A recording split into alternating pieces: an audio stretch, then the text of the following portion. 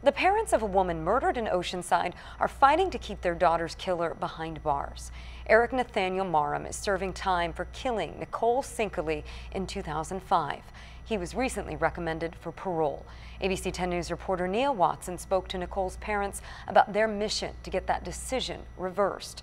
There is a 120-day review period that follows every proposal of parole. He murdered her.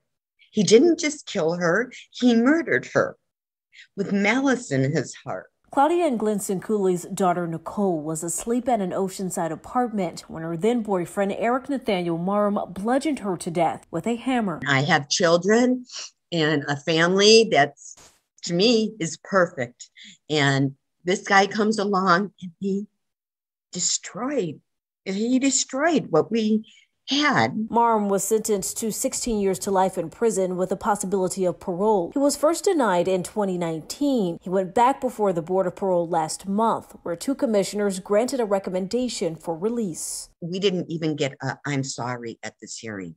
It, there's no remorse. It, it was all about his reform. Reform Commissioner David Long stated in the hearing transcript as the reason for the recommendation, saying Marum poses a low risk of future violence. But Claudia thinks otherwise, especially for her other daughter, Nicole's sister. She's out of state she won't live near us because she fears for her life. The recommendation will go before the governor for review. The Sinkules have started a petition urging the governor to reverse the decision and uphold justice for their daughter. It's now going to be the community's problem that he's going to live in if he gets out. So it's a cry, you know, for the community to rally together because we need an army to do this. We really do. Neil Watson, ABC 10 News.